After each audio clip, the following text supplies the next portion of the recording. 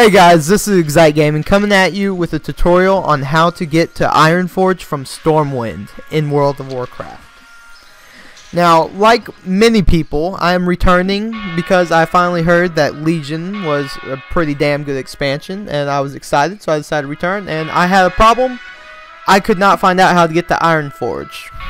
I mainly needed to get there to buy the heirlooms or heirlooms to get the XP buff while training. I have a video on how to get and use those, and uh, I don't know how to, you know, link you to that, so I'm just going to put the link in the description.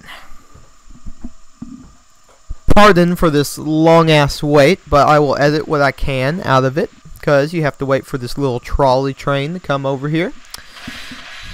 Now, I've been excited to start playing World of Warcraft again. My account was over 10 years old when I started it again.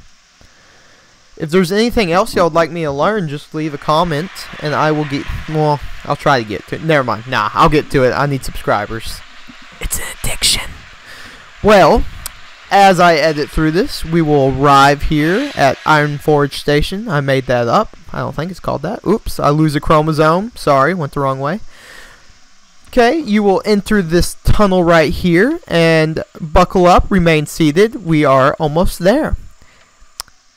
We are there. If this video helped you, please like and subscribe. And leave a comment if you need anything. I will try. Nah, I'll get to it. Bye.